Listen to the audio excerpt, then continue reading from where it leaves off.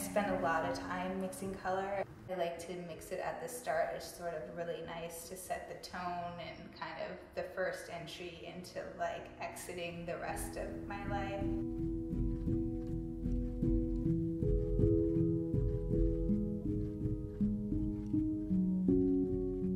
Priming for the paintings is also, it's a really physical thing and it's getting into a mindset and a rhythm and, and this sort of thing. It's like whole body going, especially in the large ones. To me, it's kind of the first place where it feels like the hands coming in and it's becoming my painting and because some of the, the shapes and lines are so crisp and clean and from a distance looks, you know, just very there. I like when you walk up close, there's the texture and this warmth and hand that's there. I mean, everything's done by hand, and the lines and the shapes are made freehand. but I don't mask them or anything. And that's important to me too because it goes back to sort of this body thing and the idea of um, control and how much of it is like me setting, like intending to do something, and how much of it is um, my body having its way with the painting and that relationship.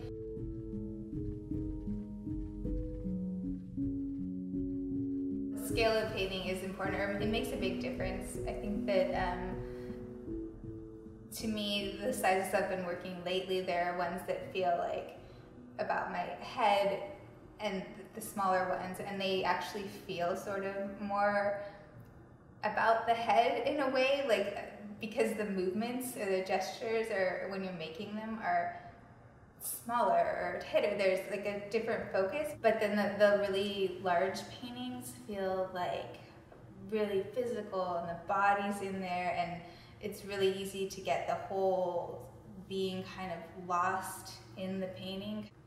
I feel like each sort of stage in the process helps facilitate another part and sometimes the time that it takes to physically do the activity I think is key to the engagement with the whole process of the whole painting.